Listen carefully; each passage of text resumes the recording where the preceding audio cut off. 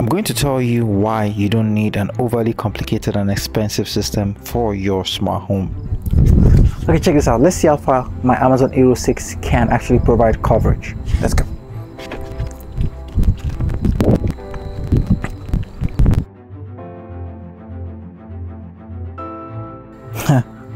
I'm getting kilobytes for speed with my UniFi setup and this is supposed to be the UniFi long range. 10 meg. The long range access point I have two of them. Let's go back to my single unit for my Eero setup. Look at that. We're getting much better performance from my Amazon Eero of $200 versus my UniFi system.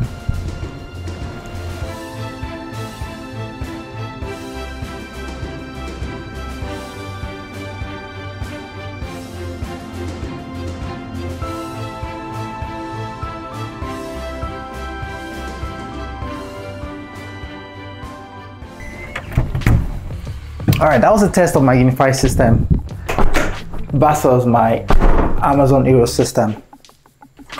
Let's go talk more. This right here is my Amazon Eero 6E and it cost about $200 and I've been using it for just over 60 days now to power my entire house. And this is my $1,000 UniFi basic setup. I've had this for just over four years now and um, when I moved from my old house, I brought it with me to the new house. Hey Google, turn on the island light. Been seeing more and more people trying to get the UniFi system, thinking that that's what they need to actually get their smart home all set up. But I don't think that's the case. The UniFi system is a very expensive system to get into, at least from a home owner and home user perspective. UniFi system is designed for small to medium scale businesses where scalability is very important. You want to be able to grow your business and be able to add devices as needed. But in the home, most people don't need that functionality. This system was brought into the home space by prosumers like myself who wanted systems that's more than capable than the basic systems that you would get from your service providers. A lot of SOHO routers have actually caught up to the game and actually provide a lot of that features and functionalities. The reason why I actually went ahead and picked up an Amazon Eero was because I've been having serious issues with my UniFi setup for quite some time now. I'm a network analyst by profession. I do this for a living. I've been involved in UniFi support and other industry experts to help me take a look at my network setup to see what could possibly causing me so much issues with my setup. I've had so many connectivity problems, especially with Thread and Matter devices. About three years ago, SwitchBot sent me their very first Matter device, which was their SwitchBot Hub 2. For whatever reason, no matter what I did, this device just would not connect to my network. I thought I had a faulty unit, so I reached out to SwitchBot and asked them to send me another unit, which they did. The same problem happened, it just would not connect to my network. So I troubleshooted for months trying to figure out what's going on. I was beyond frustrated. The SwitchBot Hub 2 uses Matter and Wi-Fi. I said, okay, maybe this is a brand new product and uh, you know, maybe they're having some software issues with their system. One day I was doing a review and I needed to set up a product at my mom's place. So I took the SwitchBot there and it worked instantly when I used their own service provider gear. This kind of got me thinking, what could be causing my problem? I have a thousand dollar unit and something that's provided by the service provider worked just fine.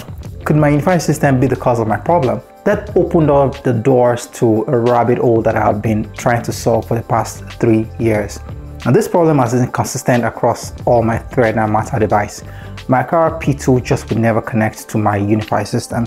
Neither would my SmartWing shades that connects using Thread as well. I've also had issues with even my NanoLeaf devices and some of my Eve devices as well. Some of them will connect, stay connected for only a short while and eventually disconnect again. This caused me so much frustrations because I would have set up automations and routines and then when it disconnects I have to factory reset the whole thing again and get it all set up all over again. Just got to a point I just gave up. Like for example, these lights here were all automated such that when I'm standing here, the light comes on and when I leave, it goes off. But since I switched back to my UniFi system again, the problem is back. And that is why I got the Amazon Eero 6 to try out. The Amazon Eero has a 2.5 gig hardwired Ethernet port that's capable of speeds of up to 2.3 gigs per second. Now these are actually impressive numbers that most households can actually make do with. Now it's not just limited to that. It is built for a smart home. It comes with a Thread radio as well as a Zigbee radio. This would help in connecting lots of devices like Aqara devices like the P2 or even their contact sensors as well to that Amazon Eero without needing additional hub. Now, the vast majority of smart home devices currently come with either Thread, Zigbee, Z-Wave or Wi-Fi. So it has pretty much covered three out of four of them. So which means you do not need additional hub to be able to use the system. Although you do need to use the LIDA platform to be able to access the Zigbee radio. But for the thread, it doesn't matter because it just acts as a thread border router. So any device that is thread will connect to the internet using that device. The Amazon Eero 6 comes with a bunch of features and functionalities for that price point. First of all, it's an all-in-one solution with a tri-band radio, which means 2.4, 5, and 6 gigahertz band the Wi-Fi also supports up to 160 megahertz channel, which means we can get a maximum data rate of up to 1.6 gig over Wi-Fi.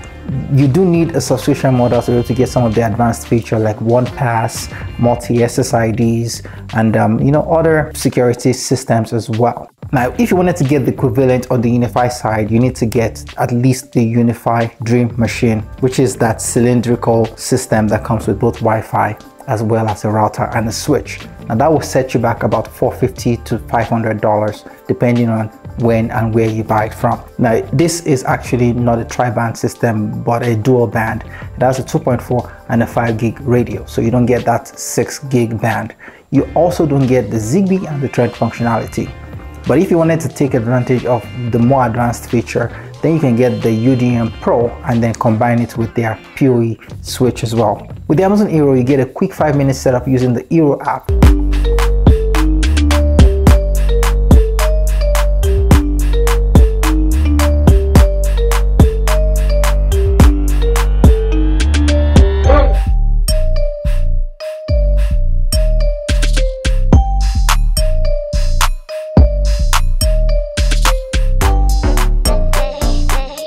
It took me all of five minutes to get it all fully set up. With the UniFi system, you have to set up things like VLANs, set up your SSIDs, you have to set up all of your QoS settings, firewall rules, a whole bunch of advanced features that you probably want to set up to actually take the best advantage of the system. The one big thing that separates both of them is the setup and the ease of use. The Amazon Eero actually is very simple and can be used in pretty much any part of your house. For the UniFi system, you probably need like a rack or some sort of a dedicated area to be able to put this system. If you want to use the UniFi system, you have to ask yourself a couple of questions. First of all, do you have the budget and the financial capacity to actually go into the UniFi system? Because it is a rabbit hole. You cannot stop and you have a minimum investment amount to actually get anything set up. The second challenge is the configuration aspect. For me, I'm a network specialist, so I'm going to say setting up the UniFi system is actually very simple and straightforward for most people out there, they're going to probably just set up at the very basic level and not be able to even touch some of the features and the functionalities of this system. Most people don't need all of this, in my opinion, because if you wanted to access your bank account, for example, you're gonna have to go to your bank's website, which is encrypted, and then the communication between your phone and the bank is also encrypted as well. And there are a bunch of server-side security measures in place to prevent, you know, things like man-in-the-middle attack. So you're not going to be really worried about those kind of security things, at least not on your end. It is your bank's responsibility to make sure that their system is secured.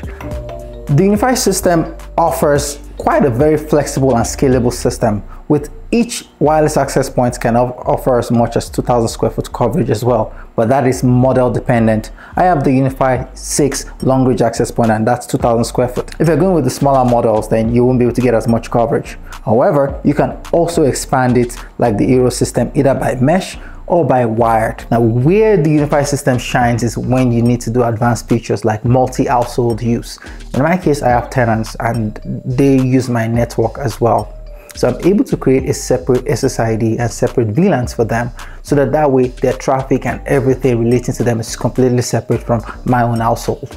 Now, what that means is that my Apple TV will not show up on their system, so they cannot cast to my Apple TV and vice versa. I also cannot cast or see any of the Apple devices or Chromecast or TVs and all or printers and print or send to their system because I can actually separate them using VLANs. The UniFi system also provides some other advanced features like intrusion prevention system as well as intrusion detection system.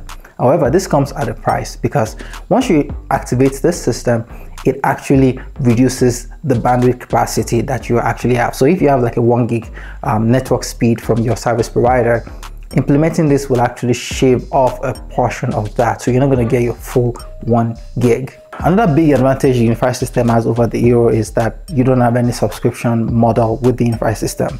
You purchase your hardware and you own it for life. But the thing is you're actually paying upfront for that because the average UniFi system costs an insane amount of money. My U6LR, for example, is about 250 Canadian dollar. The UDM Pro is about 520 Canadian dollar. And then you want to get a PoE switch and that's you're looking at $600 up. Yeah, you're not paying subscription, but you're paying the cost of that upfront. I mean, there's an argument to say if you decide you want to sell the unit, you can recoup some of your initial investments back.